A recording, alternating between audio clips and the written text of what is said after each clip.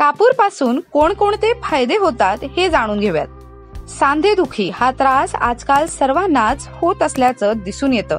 परंतु हा आजार साधारणपणे वयाच्या तिसाव्या वर्षानंतर सुरू होतो. म्हणूनच आज आम्ही तुम्हाला कापूरपासून सांधेदुखीची सुटका कशी होते आणि त्याचे काय फायदे आहेत हे सांगणार आहोत.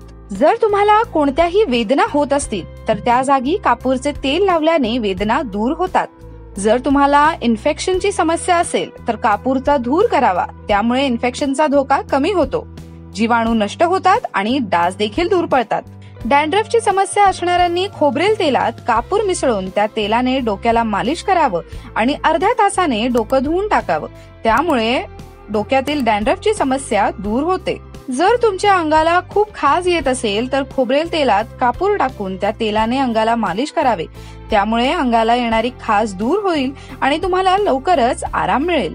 पायांच्या टाचांना पडलेल्या भेगा दूर करण्यासाठी कोमट पाण्यात कापूर आणि थोडेसे मीठ घालावे आणि काही वेळ पाय ह्या पाण्यात ठेवावे.